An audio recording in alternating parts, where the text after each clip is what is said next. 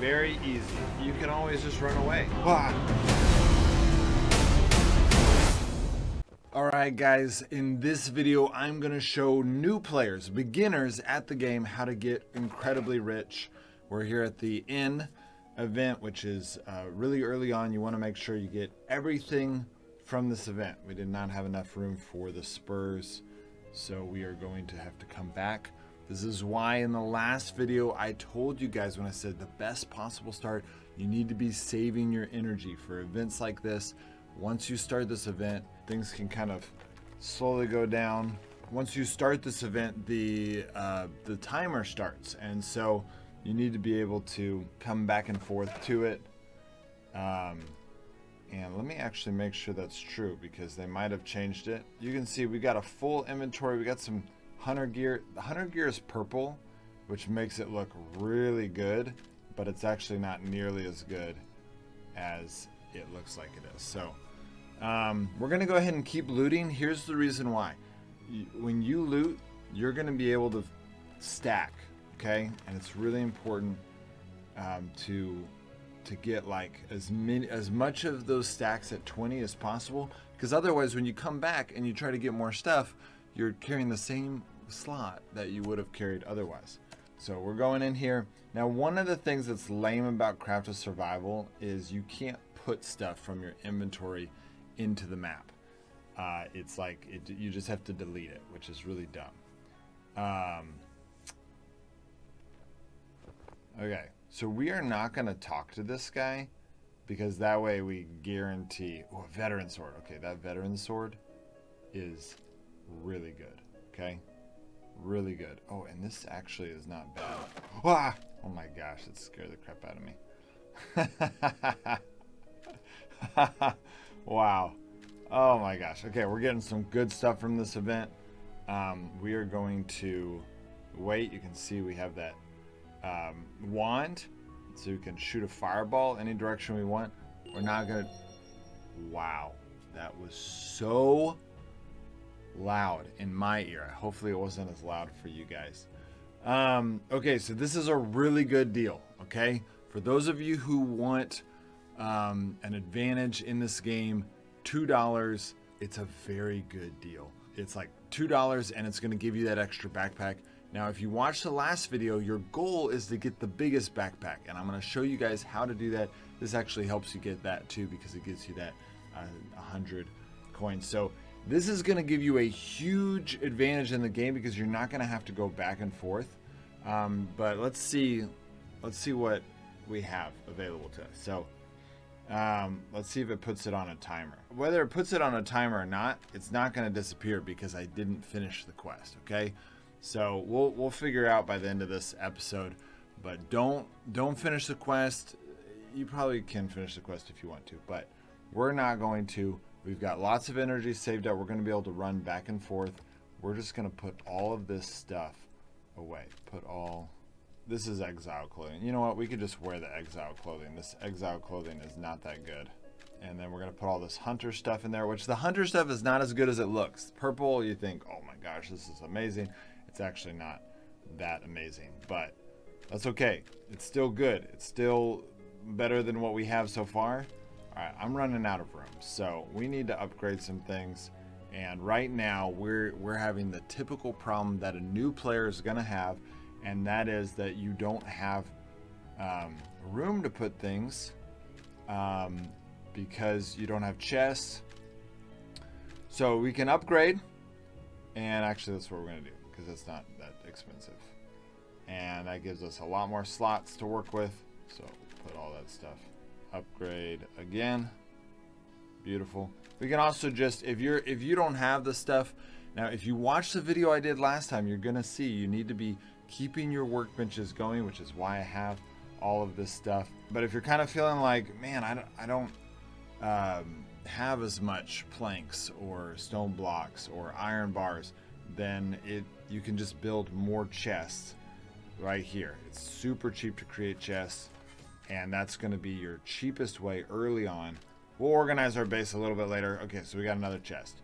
So this gives us more room, just in case I get more gear. I know I'm going to get a weapon. Okay, So we have put everything away. We have lots of energy to keep going back and forth.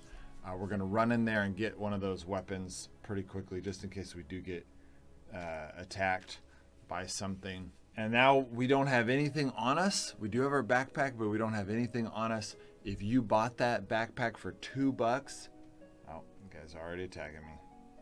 Right, I'm gonna run, go grab that weapon. If I remember right, it is right here. Perfect. This sword is so OP. Oh my gosh. Definitely don't need to be doing this. Okay, so we are looting everything, and um, you can see there's gear, so we're going to be putting that on, which gives us more space when we don't have those backpacks. And um, skill books are crucial in this game. We'll be talking about that a lot more later on. And then as you do this, go ahead and just keep using these um, notes and stuff so that they don't take up space in your inventory. All right, and uh, use the note. And then I'm gonna go ahead and use the skill book, one-handed sword. Great. I'm gonna apply the bow because out of anything, I'd rather use the bow and save that sword. That sword is really helpful uh, later on against bosses and stuff like that. So I'm gonna keep it, um, have as high durability as possible. So he's he's complaining about not having the right tool, but honestly, my inventory is already full. So we are going to uh, leave again, even though we just came. Now, if you're doing this, as long as you're not talking to that guy, you got time. So if you want to save your energy, go ahead and walk home. Um, as long as you don't talk to that guy, no timer is going to start. Trader's Camp. This is another reason I've told you guys to save your energy. Um, you can see 26 energy to get there is a lot. Um, but we are going to run home right now. We might drop by the trader's camp actually. So we're going to go here and this is where the skill books are, okay? You can see we've got one-handed uh, critical damage increase when one-handed swords are used. That's going to be really useful for us because I'm going to show you guys in probably my next video the most efficient way to farm the green zones uh, and the yellow zones and that is going to come into play, but it's not crucial. It's not it's not that important, and a lot of this gear is um, not that important in the in the grand scheme of things, but it is it is still helpful. So okay, now one of the ways to put things away, make room, is to just do this. The danger with this is that you can end up needing something later and then not have it, which can stink, but um, and then we're going to go to workbenches. Now, one of the issues early on in this game that you're going to find is in order to upgrade things, you need a level 2 castle. But in order to get a level 2 castle, you need to complete the quest Open for Reconstruction, which basically you need a strong pickaxe for that. And in order to get that strong pickaxe, if you wanted to do it manually, you're going to need to be level 12 and you're going to need a smelter. But in order to get a smelter, you need a level 2 castle. So it's like a circle uh, to where you can't do it really naturally. You want to just, and, the, and the, the simple answer to that is just to follow the quest. If you follow the quest, you'll be okay. Okay, now we're going to go back for the final time and we're going to get the stuff that we need or finish finish up the zone. And you can you don't have to buy that traveler set right now. It's oh my gosh, so loud every time. It's available to you right here. Um, this turnip stoop is good. It's a lot of healing, but it's not it's not worth buying. You can get that no problem. The backpack is this is a very good deal for the backpack. So, and it looks like that's new actually. It increases your stamina. So it actually gives you more hit points by wearing that backpack. Uh, which is a really cool touch. They added that since the global release. Um, I love that. Okay, so these flowers help you with healing later on, so it is useful to grab them. Um, all right.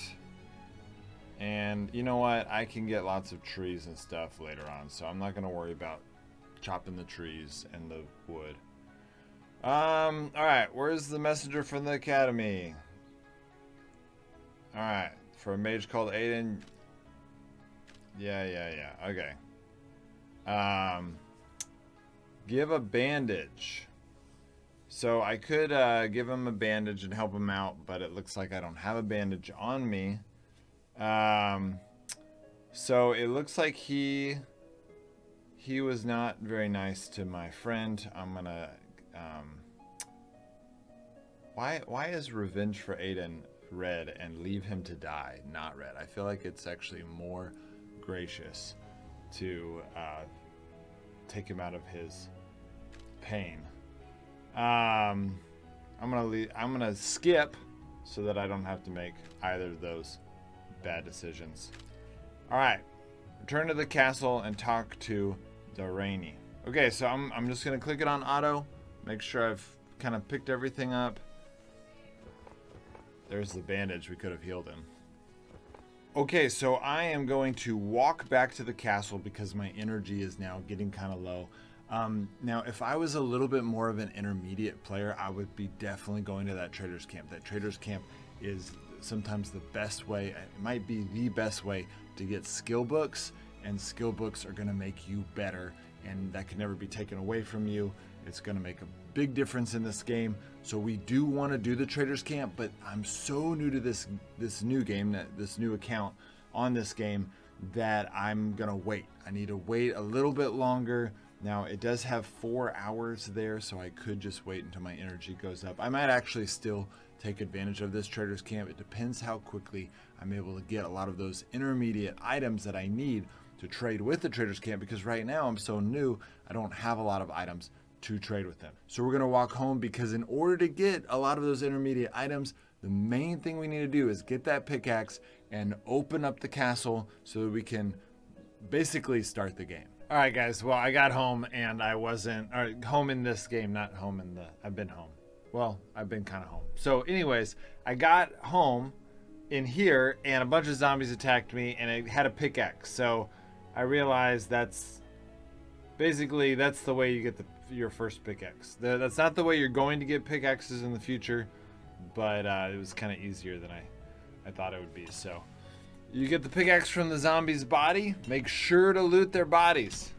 All right, and then we go in.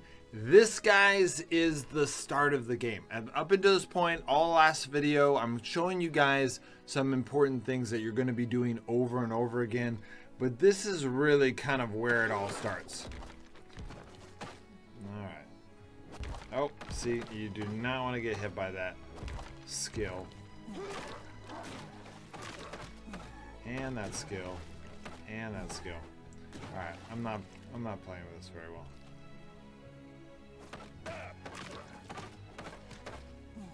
Alright, there's the boss. And I'm using my pickaxe, which I really shouldn't do. Okay, I should have had another weapon. And why I have a hunter belt on. What is happening here? Okay, this does not need to be my weapon right now. Okay, so uh, this is the throne room and I need to fix it which I will do this I don't think I have the materials that I need for this so um, we will go and get more materials but this is pretty easy to do and then we'll talk to this chick restore the throne oh my gosh okay we'll restore the throne alright well we'll talk to her did you get hurt Blah, blah, blah. No, no, no. Messenger of the Blue Fox. Alright. Great. Let's talk later. Okay. So, what we are doing now is we're going to put this pickaxe away. That pickaxe is important for later on. You do not want to use it right now. Should not have used it in that fight.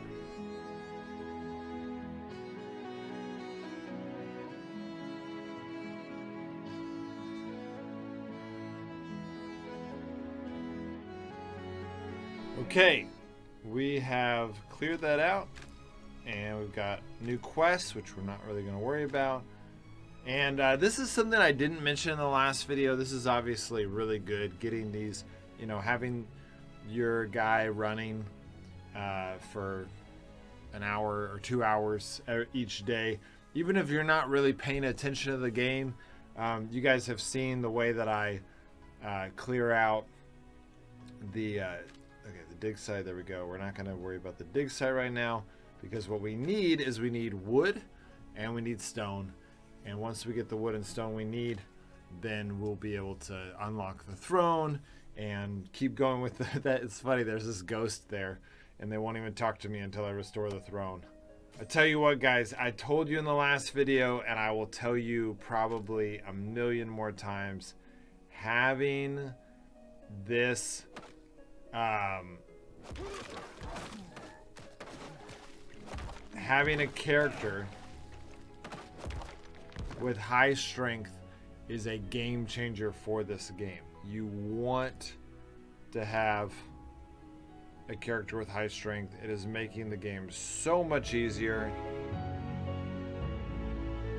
So these bosses, as long as you dodge their skills, they're actually kind of easier than your typical um, enemy because they just don't do any damage to you. So it's something to keep in mind. And once you get good at dodging their skills, they're pretty easy.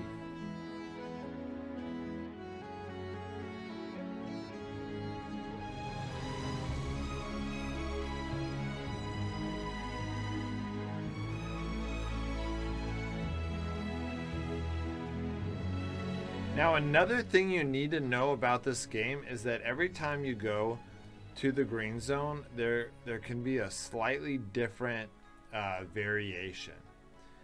And knowing what those vary, eventually you'll just know what all the variations are. But knowing what they are can can let you know like should I go down into the cellar?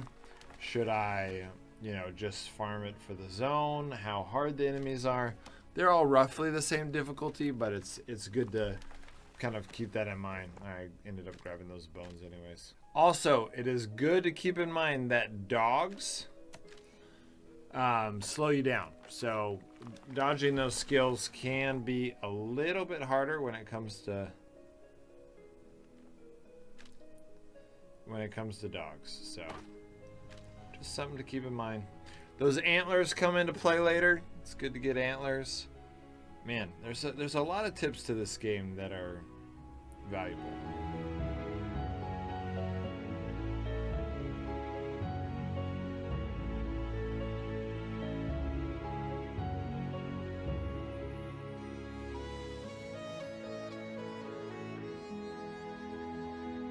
Obviously, y'all probably already saw that, but leveling up heals you.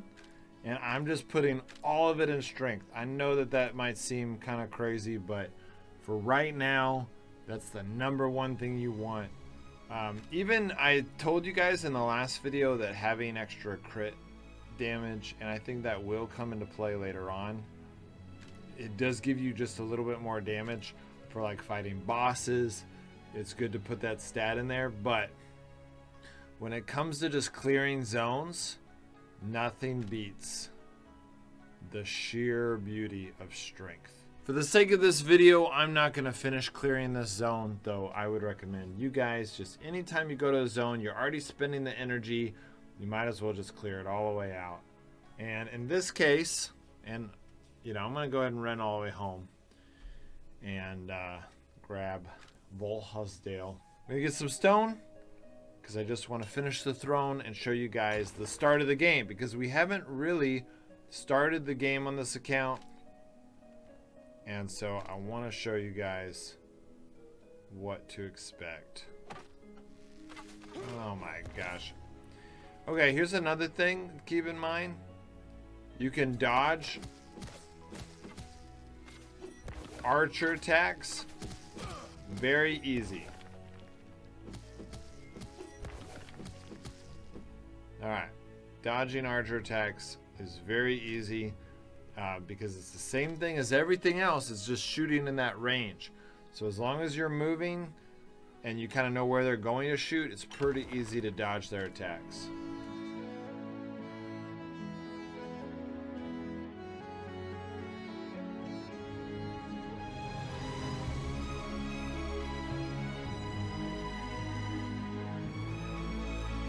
Right, well, here's another tip for you guys. Uh, you can always just run away. If uh, you fight something... I don't need to run away from these guys.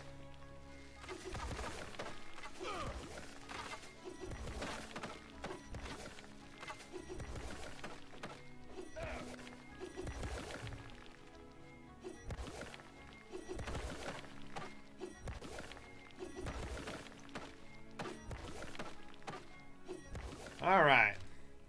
Well, that was a lot of excessive violence. But if you needed to run away, you can still just leave the zone. And uh, that works out. Now, it is very important that you do not bring that extra, that better iron pickaxe when you come farm these zones. All right, I went ahead and got the iron and the stone and this stone just because. All right, now I'm actually dying of starvation which dying of starvation is not that big of a deal as long as you do it at the right time. If you're at, you know, if you're at this zone, uh, you're going to lose. Uh, it says items will be lost upon death. Whereas if you're at home, your items are not lost upon death, so you can die as much as you want, and it just resets your hunger. So eventually, you're going to have lots of food, and you're not going to want to just sit here dying because it's annoying to have to, you know, come get your stuff again. But in this case, um, we are going to just let ourselves die, and that's just going to reset our hunger and thirst meters. Create. The throne room is complete. All right. Archon restored. Lost expedition. Blah, blah, blah. I'm going to skip it, skip all. And perfect. We have accomplished. And we're level 12. I wanted to leave the area before I died. Just in case that part is bad. But I'm to die right over here. Looks like we got another reward for the 20 minute mark. It's beautiful. Goes to our vault. And then we're to come get our body and we're to hit take all. And it's as if nothing ever happened. Now the throne is complete. We now have a level one castle. I gotta go get more wood. That is super annoying to upgrade their level two. But get, building level two is gonna be really important because building level two is going to allow you to get this smelting workshop which allows you to start getting iron bars. Iron bars are crucial in this game because they're going to allow you to start making some of these other weapons. Really, I would say the makeshift sword is going to be I'm going to show you guys how to use the, how to use the makeshift sword in a way that's going to last you like 20 green zones, maybe even more than that. And uh, and so one sword, two iron bars is going to last you two iron bars and two wooden planks is going to last you 20 or more green zones and you will literally never get touched. It's a very powerful trick. I'm to show you guys that in another video. Um, but for right now, I've got to go annoyingly, got to go get that extra wood.